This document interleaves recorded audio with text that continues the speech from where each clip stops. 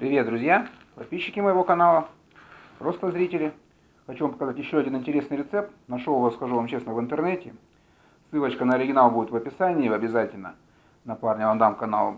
Тоже делает классно рыбу. Так, карп по-восточному у него называется видео. Ну, рецепт такой восточный, с пряными, интересным подходом. Короче, попробуйте все повторить. Ну и, конечно, я маленько от себя свое что-то добавлю, что я бы на, на изменил. Ну, это можете не, не делать, как вам нравится. Вот, хотите, возьмите оригинальный рецепт, хотите, повторите мой, можете придумать что-то свое. Но идея мне очень понравилась. Короче, суть заключается в том, что нам понадобится карп, амур, сазан, хорошая крупненькая рыбка. Амура я уже разделал. Разделывается он на пласт, вырезается хребет – и сейчас мы будем его делать дальше. Смотрите, что будем. Я его помыл. Сейчас у меня чистенький. Так, это белый амур. Будет у вас карп. Хорошо, сазан. Отлично. И теперь по спине, вот здесь начиная с хвоста, делаем не такие, не очень глубокие, но надрезы примерно со шириной 2-3 сантиметра. По спине брюха мы не режем. Вот видите, спинка толстая, а брюшка тоненькая. И чтобы у нас равномерно это дело просолилось, делаем надрезики. Многие называют это балыкование, но это не балыкование совсем. Это разделка рыбы на пласт. Опа! Вот, видите, разрезал. Не совсем глубоко, но примерно на сантиметр глубину я разрезал. С одной стороны. И делаем то же самое с другой стороны.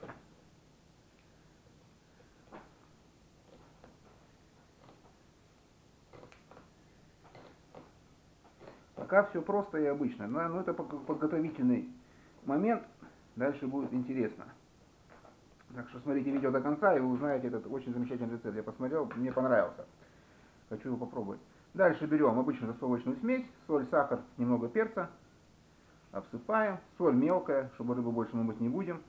Крупной соли солим. Как на еду, чуть-чуть больше. Чтобы она была маленько солоновата. Голову я не стал отрезать. Мне нравится голову погрызть пивком. Там много чего вкусного люди выкидывают, но зря. Присаливаем его.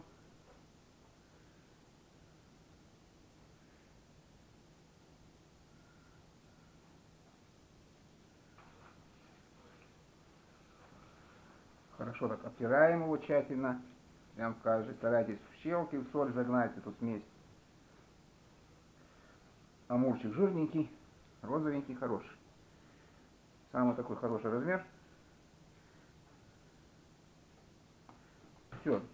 Вот на такую рыбку нам понадобилось соли граммов 50, наверное. Рюмка.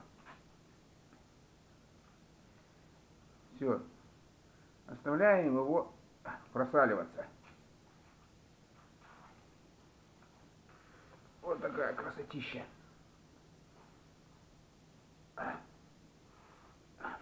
Пахнет здорово. Так, ну все, амур у нас солится. Я делаю в один день сразу несколько рецептов, так что извиняюсь, там за накладочки какие-то будут. Ну, рыбы разные, рецепты разные, а способ приготовления тоже разный, но чистю просто в рыбу в один день, чтобы не развозить эту грязь на несколько видео. И так что будут, может быть, где-то какие-то несостыковки, прошу за это прощения, ребят. Но рецепт, уверяю, классный должен получиться. Все, рыбку мы присолили, чешую я с амура, с сазана я не снимаю.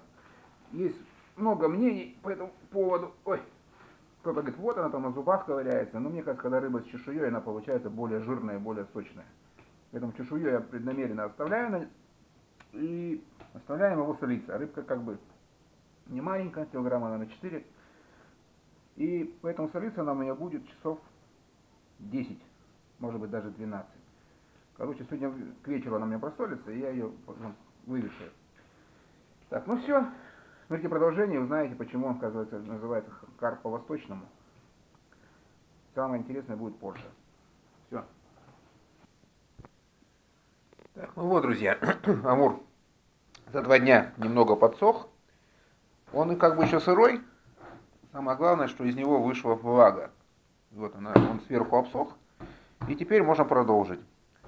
А сделать нас следующее, нужно сделать следующее с ним. Сейчас мы возьмем растительное масло, раскалим его. Берем глубокую сковородку, наливаем в нее грамм 150-200 растительного масла, хорошенечко его прогреваем, это масло. масло прогреть нужно обязательно. И насыпаем в масло, добро так, красного перцу.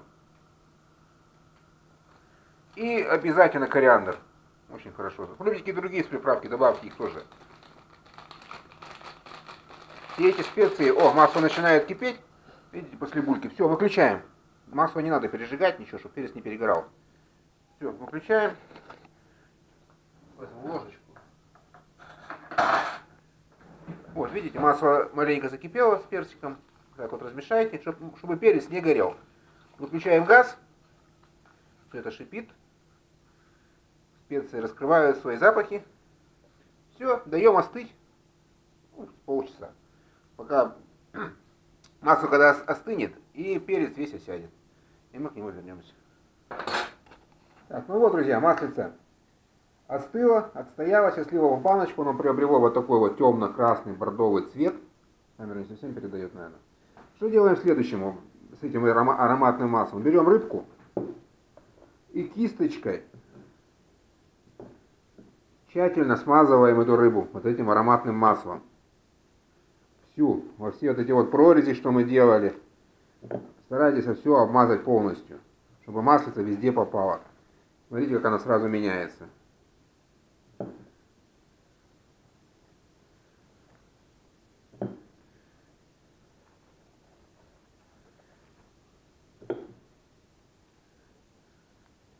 Обмазывайте каждую щеку, старайтесь. Чем лучше вы это обмажете, тем ароматнее будет рыбка. Вот.